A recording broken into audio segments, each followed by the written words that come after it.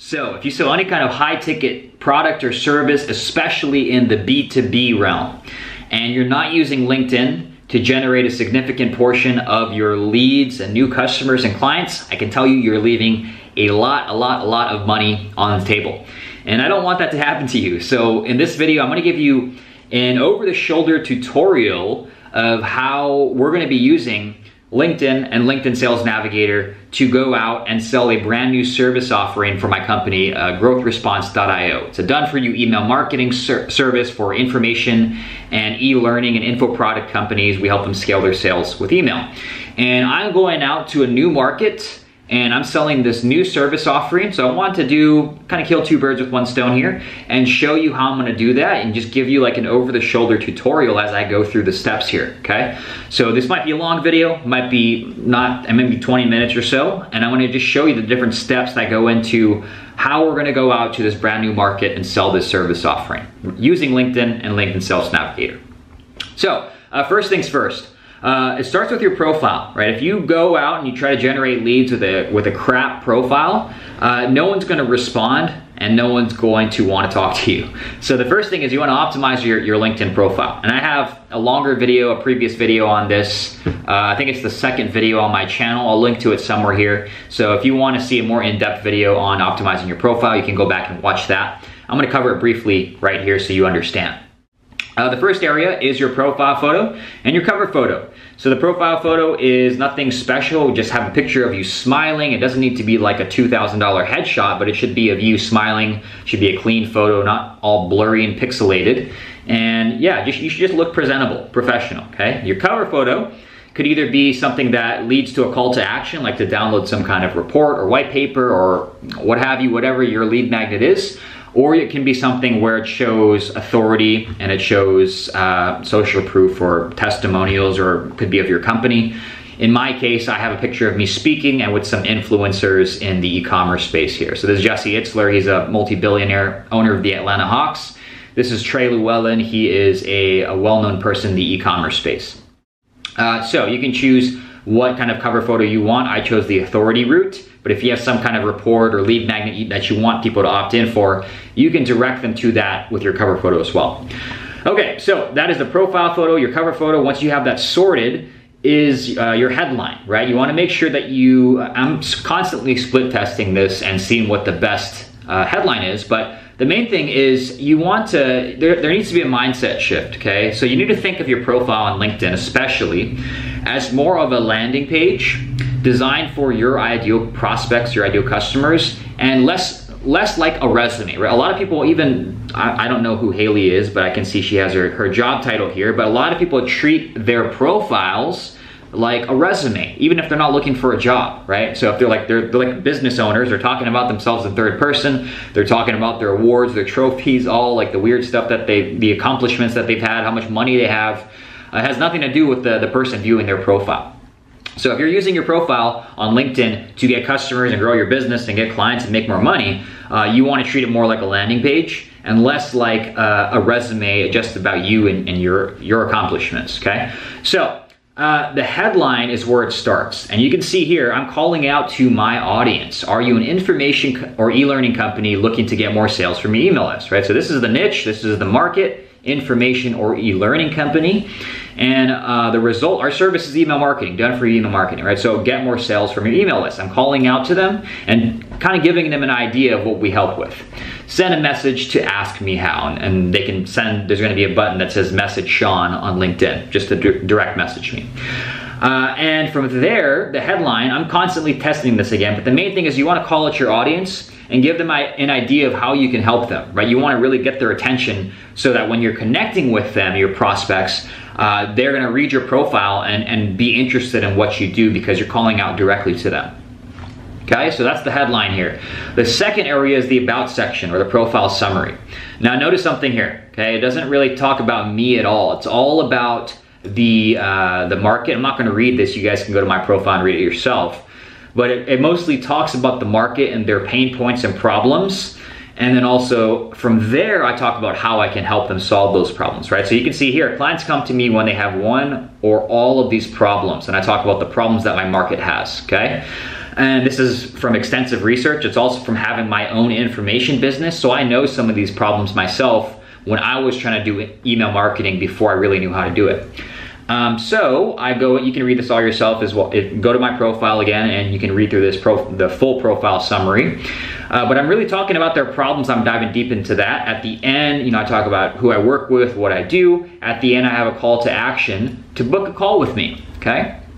So, uh, you can, I, please don't copy and paste my profile, but you can model after what I'm doing here. I'm introducing uh, the problem, like who I work with. I'm calling out the niche. I'm talking about their problems here. And then I talk about how I can help them solve that problem with our service offering, which is done for you email marketing. And at the end, I have a call to action, right? To book a call with me. So it's, it's, it's like a sales letter, a mini sales letter on my profile. Uh, and you want to have that as well if you're trying to use it to, to grow your business, get more clients, get more customers, and uh, use your LinkedIn profile to do that. For, so, so far, we have the profile photo, we have the cover photo, we have the headline here, uh, we have the profile summary, and now what I do is, and this is great if you have some kind of content or you have videos or you have a YouTube channel, you can link to that stuff in the featured section, okay? You can add some rich media here. So in my case, what I have is I have a, a, watch, like I have a video that I have on my website. These all link to my website, by the way, growthresponse.io. There's also some long form blog articles that, uh, let me just show you real quick. Uh, here's my website. If I scroll all the way down here, it's a long form article. Uh, they can click to get a price and fill out a questionnaire to book a time with me. Uh, there's another one here. Let me show you this. This is another long form blog article, and at the end, they're able to watch a free training video, and from there, they can book a call as well. Okay, so it's very, it's pretty cool because LinkedIn, um, they, it generates, my profile generates a decent amount of traffic, and a lot of those people or whoever's viewing my profile gets exposed to these links here. And they, cl they click on that, it gets them to my website, they read through the blog articles, they book a call, and this is how you can get some inbound appointments and inbound clients just from using your or organic LinkedIn profile, okay? So what did we cover so far on how to optimize your LinkedIn profile? We have a cover photo, we have a profile photo, we have our headline here that calls out to your niche and tells them what we help with. We have our profile summary or about section that goes into uh, who we who we help, how we help them, and the types of problems that we solve, and then we have a call to action at the end. And I also have some featured blog articles and videos that link to my website. And on the on the website, it also has call to actions for them to book a call, watch a free training, or, or video sales letter as well. Okay. So we're hitting them from all kinds of different angles from our website and our LinkedIn profile. We're also going to be hitting them on outbound prospecting, which I'm going to show you in a second. Uh, but that's pretty much it for the LinkedIn profile optimization, right? We also have our company down here. I talk about what the com our company does. Again, we have a call to action to send me a LinkedIn message or book a call. Uh, but that's pretty much it, right? We, you can have your skills here as well. The main things is your profile photo, cover photo, headline, profile summary, and if you have any rich media, add that stuff here because you're going to be generating traffic, inbound traffic to your profile. You want to direct them to whatever content that you have on your website, right? If, if, if that's what you want to do, if there's a call to action there. Okay, so once you have your profile optimized, and if you follow this video and you follow what I just told you to optimize here, uh, you're going to be ready for prospecting, right? Reaching out to your market and drumming up appointments and people who are interested in learning more about what you have to offer. Uh, so let me just show you real quick uh, my messaging inbox. If I just go to unread here.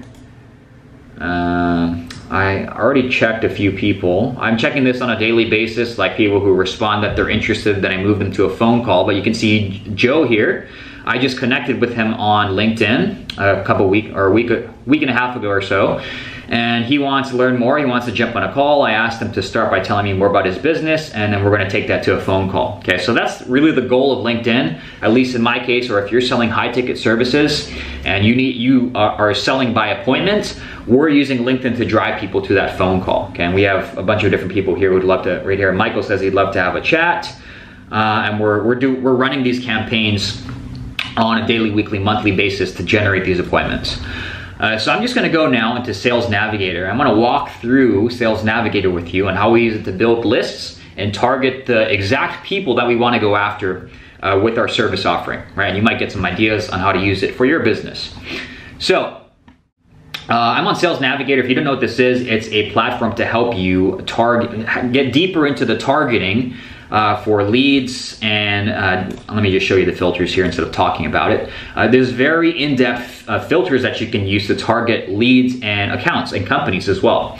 So my market is information and e-learning companies, right? Now the beautiful thing about LinkedIn is I can target based off of a number of things. So I'm just gonna walk through how I would do this. Uh, now I live in Seattle, so I'm just gonna start with Seattle here. Uh, you can start with you know, a statewide or countrywide basis. I'm just gonna start with Seattle. And what I also like to do is I like to start with the second degree connection. Now the second degree connection, what this means is you have a mutual connection meaning you it's a friend of a friend right so it's a connection of someone that you're already connected with if you have a smaller network of five like less than 500 people then you'll want to just go straight to third degree connections but the reason i go second degree is uh, when you have a mutual friend what happens well they're more likely to want to talk to you they're more likely to engage with you because there's some kind of mutual or in common connection right the same goes when in real life when you have a friend and they introduce you to another friend, you are more likely to become friends rather than just going and randomly tapping people's shoulders on the street, right? Uh, so that's why we start with second degree connections here. Uh, the, good, the beautiful thing about uh, LinkedIn is there are predetermined industry tags here. So in my case, there is an e-learning tab here, right? I might also do something like internet. Uh, actually, we'll just stick to e-learning for now to keep it simple. Uh, I might do publishing because they publishers are their info product publishers or the info marketers. Those are the people that we're targeting. Uh, but there's so many filters here that you can use, right? So I'm just gonna use, I start with the geography. Sometimes I'll do keywords. I usually use keywords to do further filtering, which I'll, I, I might show you after this. Uh, secondary connections, industry tag. What I also do here is, uh, let's see, you can either use, I, I, alternate between these, but you can either use seniority level and you can do like the C-level executives if you're trying to target any of the C-level executives or the owner or the partner or the VP level. Uh, just for simplicity's sake, I'm gonna go by the job title here, okay? Uh, so, job title, uh, who am I targeting? Owner, founder, CEO, chief exec, uh, we might be talking to the CMO too sometimes, the Chief Marketing Officer. Uh, let's just start here, okay? So very, not too many results because I don't think I have too many second degree connections in the e-learning industry yet. So let's just, let's see what we got going on with third degree, okay? Um, so we have the geography, relationship, industry, uh, seniority level. I'm not using this, but you can use that the title. You can go by C whatever titles that you're targeting, you can enter them in here. Uh, now, something else I also like to do, if I really want to filter off of people who are not just like startups, who already have experience in the industry, what I'll do is I'll go to uh, years at current company, and I might just do like three to five, six to 10, uh, more than 10. If I really want to narrow down like people who have been in business for a while, right? So you can use you can use these filters. I'm just gonna get rid of them because I'm not, I don't really care about that for now. Uh, company headcount, this is another one. So we're mainly targeting 11 to 200 employees, okay? And you can actually filter based off of whatever headcount you're using. Uh, but this is our sweet spot, 11 to 200. It's actually probably 11 to 50, but I'm just gonna leave this open. Uh, and I'm just gonna click search. Now, uh, I also wanna show you this. Here's another cool thing that we'll do sometimes. Let me just start a new tab here so I don't go overlapping here. If you go to lead filters, you wanna get really targeted. Let's just say that uh, you wanna find, like you, you know your niche, you know the exact people that you're targeting. Uh, a very cool strategy that I don't see many people talking about is using the groups filter here in Sales Navigator. So let's just go to seniority level. I'm gonna go to CXO or owner or partner. Uh, and I'm gonna go, uh, let's just do USA. Actually, yeah, let's just do this. And let's do, you know what, I'm gonna leave this blank. I'm gonna go to groups here, and you're gonna use groups to find your list of prospects, okay? So I might just, let's just do e-learning and see what happens. Uh, so e-learning professionals. Uh, we got 99 results, e-learning let's just do e-learning. Uh, let's see, learn. Let's see if we got any info product. Marketers, right here. Okay, so what am I doing here? I am finding very niche specific groups, the people that I'm targeting, and I am trying to build a prospect list of people who are in these groups. Now, why is that so powerful? Well, who's going to be joining these groups? Who's going to join an e-learning group or an e-learning professionals group or an information marketing and publishing group? Who's going to join that? It's not going to be, I mean, it's only going to be people who are in the e-learning industry or the information marketing industry. It's not going to be, be people who are in maybe e-commerce or something that's completely unrelated to these industries, right? So the reason this is so, so powerful is Sales Navigator isn't perfect with just the standard uh, search filtering. But if you are targeting groups like this, uh, you're going to get a much more intent driven prospect list because only people who are in this industry who are interested in these topics, these very specific topics, are going to join these groups, right? So if I click search here, I can see a list of prospects here, okay? Uh, now, what am I gonna do with these list of prospects? Well, there's a few different things you can do. One is I might just create a prospect list. So I might just do this, press save, I could create a lead list. I can go, uh, today is the 15th, I think, uh, 7.15.20, and I can just call this the e-learning um, 11 to 50 Seattle list, okay? So I'm gonna create and save this, and what I can do now is I can just save these people to that list, okay? And I can go and individually look at their profiles if I want. If I want to go to Jay's profile here, I might just look at this, make sure that he has the right experience. Uh, he's the co-founder and CEO of, it looks like an e-learning company here. Uh, so I'm gonna click save, and I'm gonna add him to this list, okay?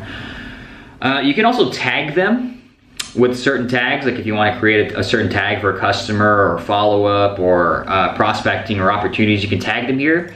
I usually create lists if I'm starting from scratch, right? So I haven't contacted any of these people yet, so I might create a list of all these people uh, in these e-learning lists. I'll go down this, I might have my assistant do this and create a list. And from there, what you're gonna have is, let me see if I can do this. Yeah, you can do that, you can select all and, and save them pretty quickly to the list all, all at once, right? Now, from there, I'm gonna have a list of these e-learning professionals and I can go here and let me just go here one by one. I can click, uh, what was I trying to do here? Make sure that he's e-learning. He actually isn't. So I might not reach out to Sean. Uh, I might reach out. Let me find someone. See, this is what I mean. It's not always perfect. There's a lot of media companies in here for some reason. Um, see, this is this is over the shoulder. I'm doing this live. I'm not. There was no preparation, so uh, forgive me here. I'm just going to show you my process, right? So I'm I'm going to build a list of these people, and then I'm going to go to their profile, and then I can click these little three dots here. I can click connect, and I might send them a personalized connection. Hey Jay. Uh, share.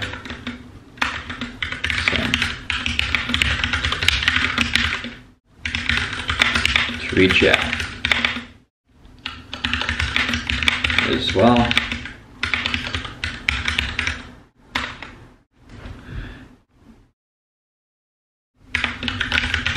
And uh, I look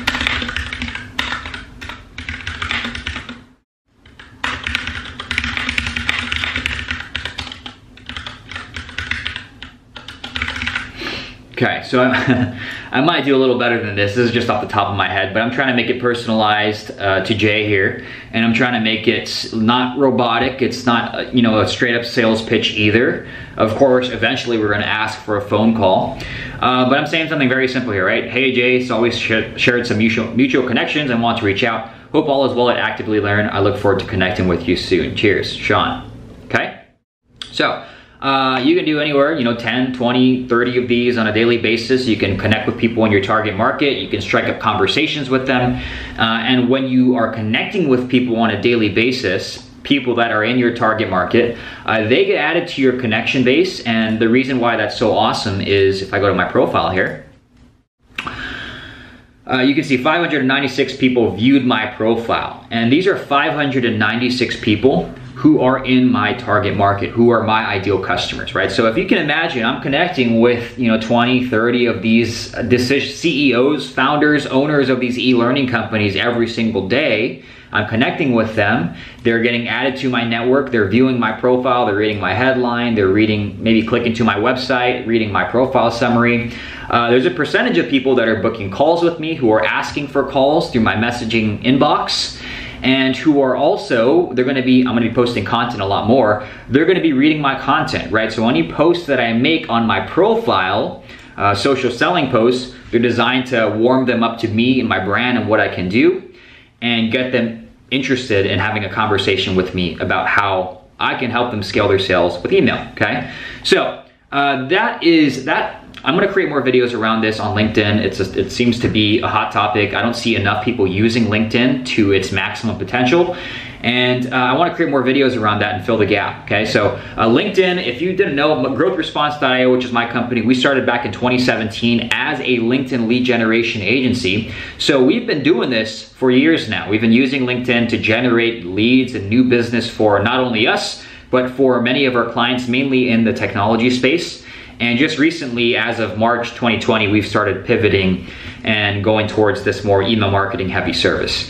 Uh, but I still think LinkedIn is a fantastic place. If you're if you have a like high ticket service or a product, and you're looking for the best social media channel to go out and generate leads and get new clients and grow your business, LinkedIn, especially B2B, especially B2B is very powerful to help you doing that, okay? Uh, so that is it for this over-the-shoulder tutorial. I just showed you how to optimize your profile here. I showed you what I'm doing. I'm generating people, uh, or I'm getting people who are interested in my email marketing service by connecting with them and sending them uh, outbound prospecting messages and they're, they're showing up in my inbox here. Then I also showed you how we go out and build lists of our ideal prospects within Sales Navigator and how you can do the same for your own business. I showed you how to do it just based on job titles and geography and uh, just uh, industry, but you can also use LinkedIn groups to generate these prospect lists as well, more targeted niche specific prospect lists. Um, so I don't know why this isn't working. Uh, so what we did here again is we targeted e-learning specific groups and information marketing groups.